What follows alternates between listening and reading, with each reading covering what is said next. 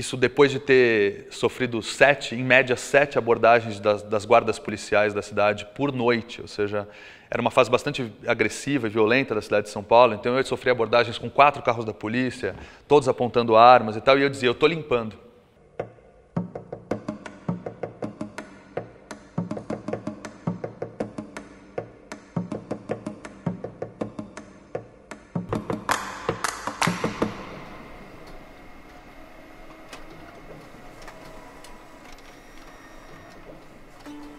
Foi em 2004, no final do governo da Marta, em que eles tinham inaugurado alguns túneis na cidade de São Paulo.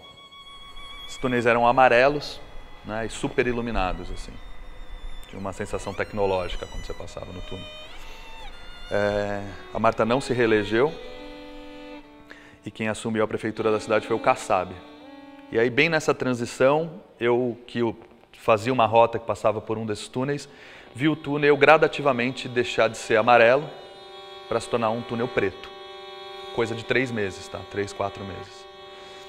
Eu juro que eu entendi que aquilo fosse uma estratégia da nova, do novo governo para não valorizar o, o, trabalho do governo anterior, que fosse alguma coisa na dimerização da, da iluminação do túnel e tal.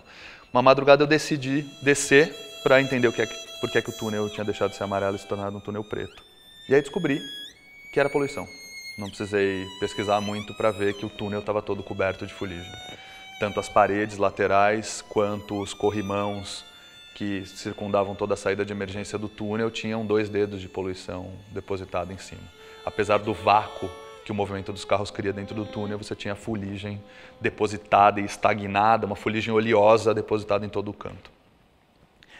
É, passei a mão na parede e a parede que era preta tinha ficado amarela. Assim, muito fácil a limpeza, não precisava de produto químico, não precisava de nenhum grande atrito para fazer com que aquela superfície que estava preta voltasse à cor original, que era amarela. Eu saí do túnel com duas certezas. Uma era que eu tinha uma possibilidade técnica para fazer qualquer coisa ali dentro. E a outra é que a gente estava respirando uma fuligem, uma quantidade de fuligem pavorosa na cidade. A única coisa que diferia o ambiente do túnel de uma calçada qualquer da cidade é o fato de que o túnel não sofre o efeito da chuva. Portanto, ele só estava mostrando a quantidade de poluição que é expelida e, de, e, jogada no ar que a gente respira diariamente. Fiquei um tempo pensando né, o, que, o que eu podia fazer com essas duas questões. Eu podia escrever Mamãe Te Amo, mas não fazia sentido, entendeu? Acho que a coisa ali estava mais, mais séria que isso. E aí, em junho de 2016, eu decidi descer num desses túneis, que foi o Max Pfeffer, que é o túnel que dá a ligação entre a Avenida Cidade Jardim e a Avenida Europa, passando por baixo da Faria Lima. Eu decidi descer nesse túnel e começar um trabalho de limpeza. O túnel é um ambiente exclusivamente para automóvel, né? Ele tem uma passarela de pedestre, mas que tem uma finalidade de emergência. Então eu pensei, eu vou limpar e eu vou nesse espaço colocar a figura humana, da maneira que eu acho que é mais adequada nesse caso, né? Então comecei a desenhar crânios humanos simplesmente com pano, usando panos, claro, luva e uma série de proteções para poder lidar com a poluição que o ambiente tinha constante, mas usando o dedo mesmo. Fui limpando crânio após crânio durante 17 madrugadas. Desenhei mais de 3.500 crânios ao longo de 300 metros. O túnel total, a dimensão total do túnel era de 600 metros que é o que essa foto mostra bem assim, né? Essa imagem ela mostra, é, ela dá a dimensão desse desse fluxo de crânios ali que tinham sido construídos ao longo de 17 madrugadas. É curioso, né? Porque na época a gente não tinha ainda a lei cidade limpa, então a legislação que condenava a pichação, qualquer outra forma de, de ação na cidade, né, dessa natureza, a criminalização estava na técnica, ou seja, usar tinta, aplicar tinta sobre uma superfície era o crime.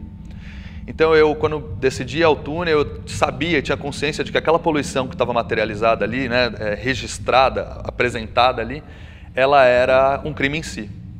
Toda vez que a prefeitura me abordava, e foram inúmeras as abordagens durante essas 17 madrugadas, eu dizia, estou limpando, entendeu? E aí eu já estava livre né, da questão da, do crime, porque de fato eu só estava removendo a, a, o crime que já estava lá, que era aquela quantidade absurda de poluição. Mas curiosamente, depois dessas 17 madrugadas trabalhando e de em média, sete abordagens policiais por noite. Então você imagina, eram abordagens assim, às vezes com quatro carros interditando o túnel. Eram abordagens. A cidade de São Paulo estava numa fase bastante violenta. E aí, por fim, na 17 madrugada, a prefeitura aparece para lavar o túnel.